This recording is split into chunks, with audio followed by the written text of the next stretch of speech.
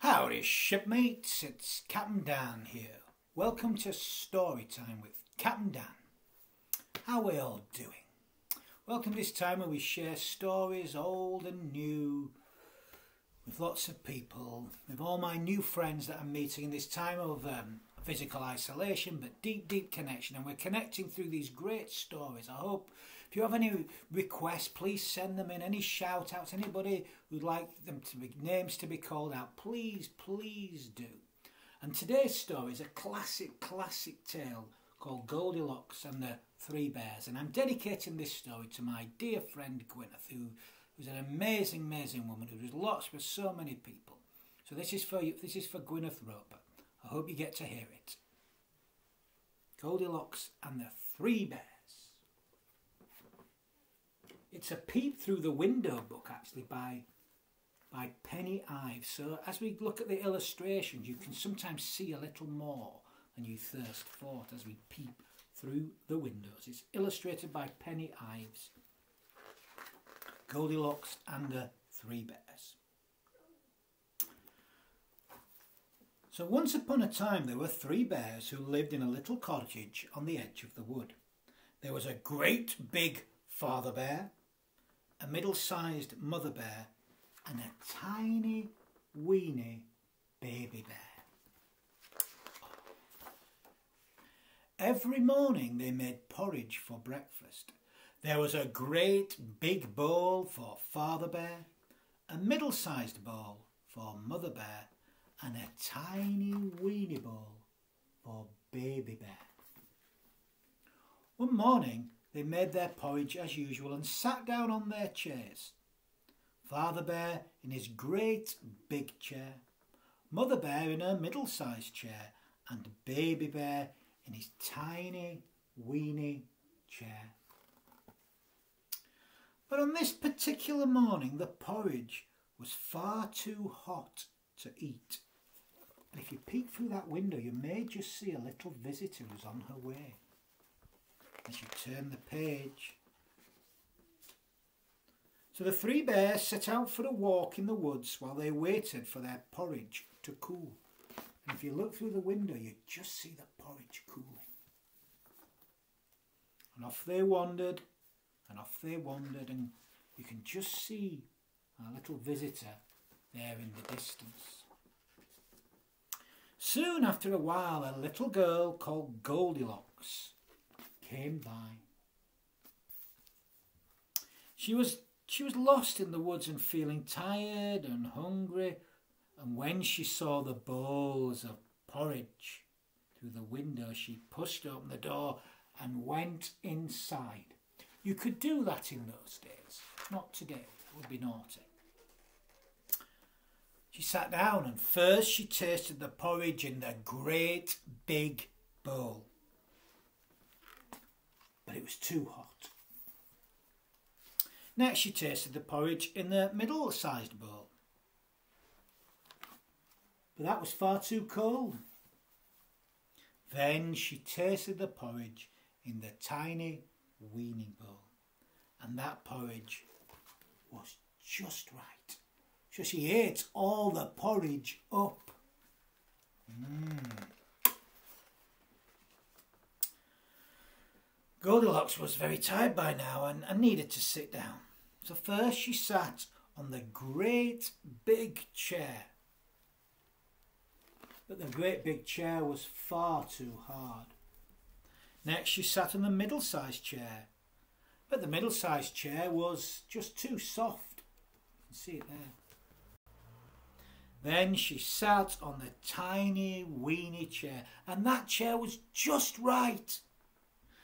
She sat comfortably on it, but then all of a sudden it broke into pieces and poor Goldilocks fell on the floor.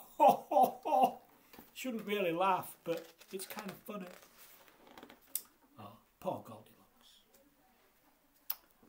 By this time, she was feeling quite sleepy. I know how she feels. Goldilocks went upstairs to the bedroom First she lay down on the great big bed, but it was too heavy. far too hard for her soft, delicate skin.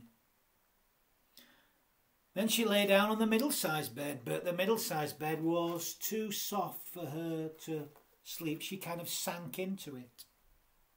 And then she tried the tiny, weeny bed. And the tiny, weeny bed was just, just right. And she soon, soon fell asleep.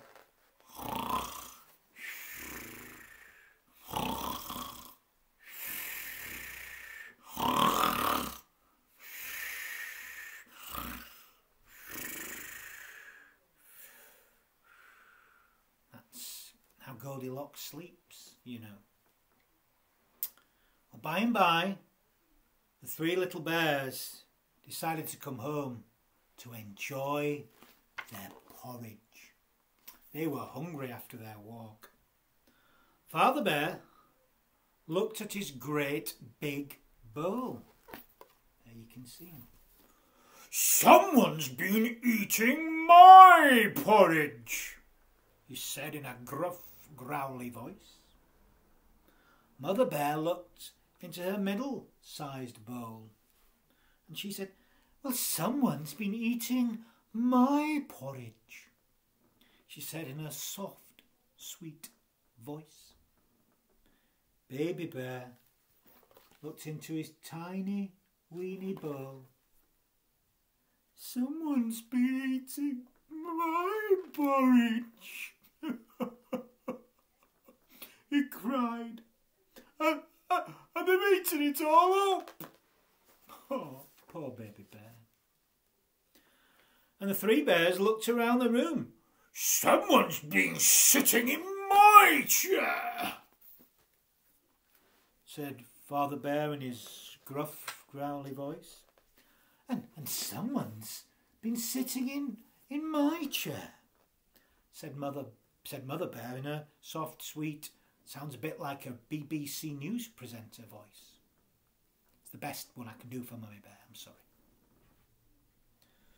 And, and, someone's been sitting in my chair and broken it. It's in pieces.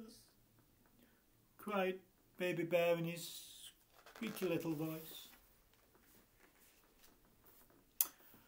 Then the three bears went upstairs to the bedroom. Someone's been sleeping in my bed, said Father Bear in his strange Brian Blessed type voice, actually. And then someone's been sleeping in my bed, said Mother in a soft, sweet voice and, and someone someone's been sleeping in, in my bed. And, and look he's, they're still here. Said baby bear in his uh, little squeaky voice and there you can see Goldilocks in the bed. Well Goldilocks slept through the gruff vowly, growly voice of father and the soft sweet voice of mother bear but Baby Bear's squeaky little voice woke her up and she sat up in bed with a start.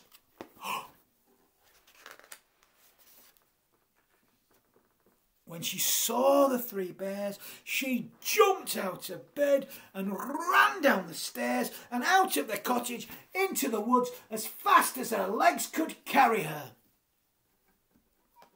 And you know what? The three bears never saw Goldilocks again. Goldilocks and the Three Bears. A Peep Through the Window book by Penny Ives.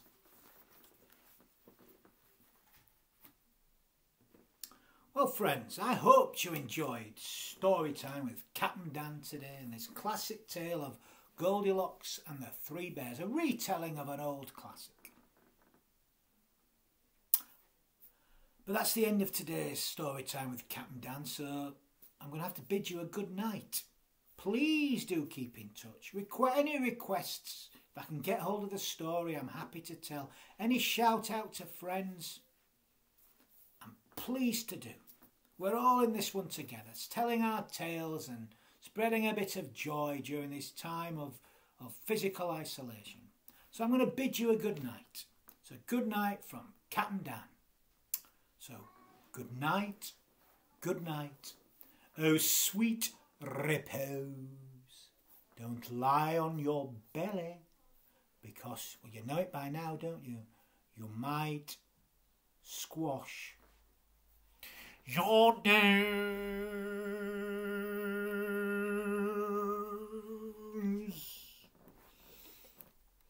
Good night.